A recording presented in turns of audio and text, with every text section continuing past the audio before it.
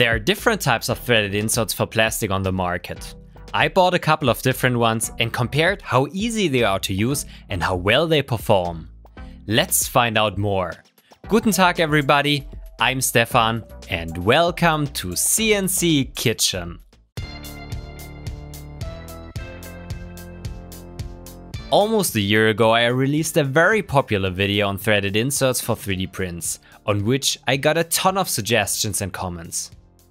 One of them was that I used for my tests a type of threaded inserts that I found on my local eBay, which looks quite a bit different than the typical ones that you find on AliExpress or also on Amazon.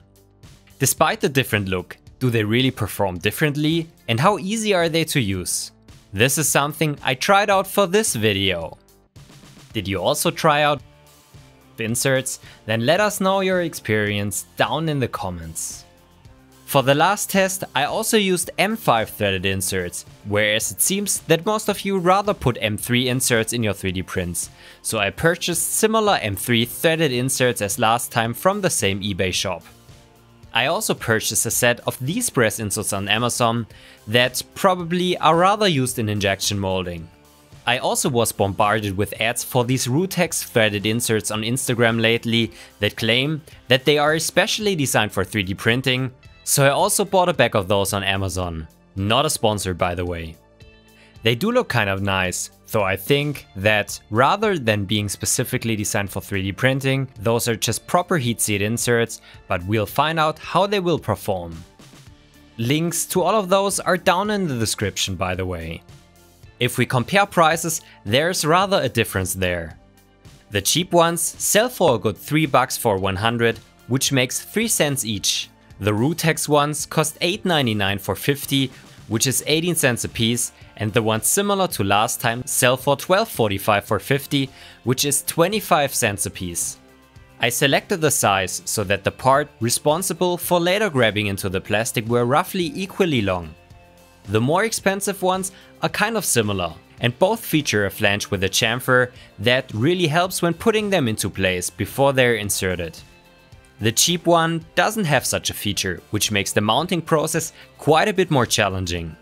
Other than that, it only has vertical knurling, which is good for the torque out strength, but probably bad for pull-out resistance. The ones I purchased from eBay have horizontal and vertical knurling, and the Ruthex ones even have this diagonal and opposing pattern on the outside. We'll be testing the torque out strength, which is the resistance against a rotational load, and the pull-out resistance, which is an axial force. Since I was also curious how my usual method for screwing parts together works in comparison, I also printed samples with slightly undersized holes in which I directly screwed the M3 screws. The Ruthex fortunately come with a manual on the packaging, which tells you the size for the hole you need to print. For the other ones, I had to make a guess using the external geometry. In the end, I used 4.0mm holes for the Ruthex, 4.1mm holes for the eBay inserts, and 4.5 for the injection molding parts. At this point, a short excursion where your 3D printed holes always turn out too small. So, you probably all know, if you are printing holes, they usually turn out smaller as they really should be. In my case, if I want to have a 4.0 hole for the insert, I need to model it a bit bigger in CAD. Assuming that your steps per millimeter and your extrusion multiplier are dialed in right, there are a couple of reasons why your holes are smaller. First, the material shrinks during cooling and causes dimensions to get smaller. Second, the triangulation of the part. So when you export an STL from Fusion 360, you can choose the quality, and this refers to the amount of triangles that are created. During the triangulation of a hole, the points of the triangles are placed on the circumference, but the triangles themselves overlap inside, which causes shrinking of the inner diameter. The less triangles, the more severe. There are more reasons for the shrinking effect, and if you're interested, read the blog post of nophead that he wrote in 2011. Anyways, what I simply did was that I printed sample strips with diameters from 4 to 5 millimeters in 0.1 millimeter increments and then tested the effective diameter by just using a drill bit as a gauge. For my original Prusa and the Prusament I printed with, the error was 0.1 millimeters, so a 4 millimeter hole had to be 4.1 millimeters in CAD. For the torque-out tests, I printed these test parts with four different hole sizes, where we later apply the torque until something fails. The hole in which I just screwed the M3 bolt was 2.7 millimeters, which is roughly the standard value that I tend to use for my designs. For the pull-out tests, I printed these small plates, which always only features one hole for the threaded insert or directly the screw. This time the parts were also printed with 100% infill, because last time not the insert failed, but the test specimens gave way. I used Prusament PLA and printed all parts on my original Prusa i3 Mark 2.5 at a layer height of 0.15 mm. Putting the threaded inserts into your parts is pretty simple. I just used my temperature controlled soldering iron, heated it up to 210 degrees Celsius and then slowly pressed the brass part in with only minimum force. The inserts with the chamfer were way easier to push in and didn't end up with curled up materials at their ends, whereas the cheap inserts were basically blocked at the end. So definitely a point for spending a bit more money. Before we start with the tests, make sure that you're subscribed to the channel and have selected the notification bell to not miss any future videos. Also, please hit the like button so that I know that you appreciate the work I put into these tests. Let's start with the pull-out tests that I performed on my DIY universal test machine. Our sample is put into the lower holder. An M3 bolt then connects the upper holder to the sample that will then slowly try to pull out the brass inserts. This is how that looked for the Ruthex insert.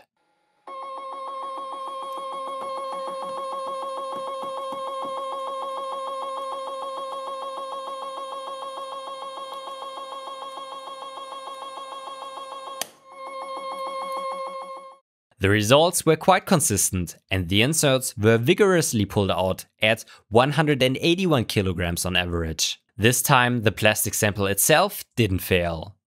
The eBay insert was a little bit weaker and ripped out on average at 157 kilograms of load, but still an impressively high number.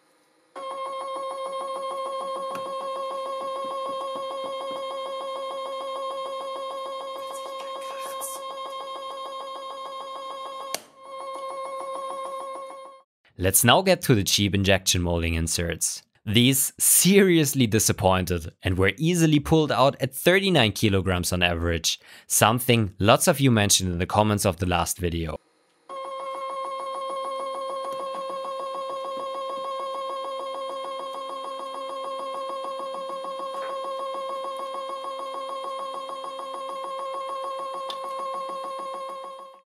Finally, we have the samples where we screwed directly into the plastic with a hole that was just slightly undersized. I was quite impressed because they were able to bear 142 kilograms. That's almost as much as with the good inserts.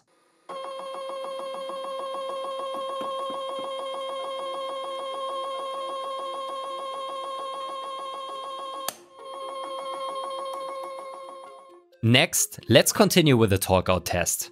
Just as last time, I used my trusty torque wrench that came with my bike and seriously works better than one might expect. I screwed the bolts into place and then slowly loaded them until something gave way. Interestingly, all tests for the inserts failed at around 3 to 4 Newton meters of torque. Not because the insert ripped off the plastic, but the bolt had sheared off, and those are actually quality screws. The part where we screwed directly into the plastic failed at around 1 Newton meter of load, as expected, because the plastic failed. PLA is quite a hard and strong material, so out of curiosity, I also tried some threaded inserts in softer ASA, where some again failed because the head sheared, but our eBay insert with a shallow knurling started rotating in the plastic. In the end, torque out doesn't seem to be a huge issue, because the bolt is the weak link, regardless of which M3 insert you use, at least with PLA. This is also a bit specific for this small thread size and will probably be different for larger ones. Alright, what have we learned? Which inserts are the best and are the injection molding ones trash? So the more expensive inserts definitely won, because they are easy to use and performed also very well regarding torque out and pull out. Even though the cheap inserts performed equally in torque out, they were by a factor of 4 weaker than the expensive ones when it came to pull out. This sounds bad on first glance, but I still think that they are a usable alternative if your loads are not too high, because 39 kilograms on an M3 bolt is still quite something and they still perform the task of not wearing too much if you regularly loosen and tighten that connection.